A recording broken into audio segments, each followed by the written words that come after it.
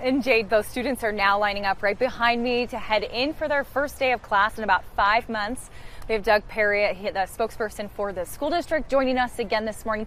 There's a couple of questions that we need answered about sure. face masks and face shields. So let's get right to it. There was a little bit of a mix up and some confusion for some parents.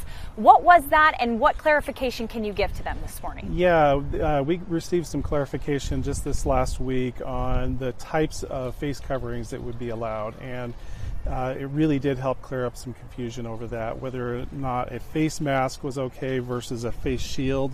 Um, what we're hearing now is that the, the preference and the um, requirement is for an actual face mask, mm-hmm. um, and that a face shield can be used in addition to that if they would if they choose that. Okay, so for those that may have um, lost their mask in the car on their drive over here or in the bus, you guys have some extras, don't you, that you're handing out to students? Exactly. Yeah, we're prepared to give students uh, what they need in terms of PPE in general, but um, face masks for sure. On the bus and in the classroom, if if they're face mask uh, malfunctions or if mm-hmm. they don't come with one that particular day, we, we're prepared to give them one. And about 20% of the student body, I understand, is going to be taking online only That's learning. Correct. So masks really don't necessarily apply to them since they right. won't be in the class. Does that come as a surprise to you or the school district that, that 20% of the student body, of the 6,300 students heading back, are going to actually be taking online? No, I think it's reflective of the surveys that we've been doing and other surveys that we've seen from other districts that we have a,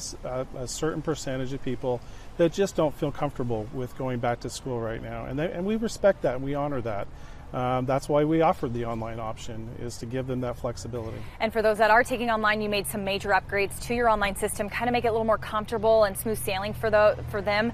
Uh, these technology upgrades, did they cost much? Um, we've been putting together a lot of different things, um, protocols and so forth for our technology. Um, yeah, some of them do cost a fair bit of money, but um, a lot of them we had already been working on. Quite frankly, we were prepared the day that we had to close down to go online fully because we, every student had a Chromebook already in, in their assigned to them, and so um, we were ready for it, and I think we're ready for it now. Um, if we need to close down on, on a day's notice, we can do that. All right. Proceeding with caution. Exactly. I like it. Okay, Doug, thank you so much for your time this morning. Those kids are headed back.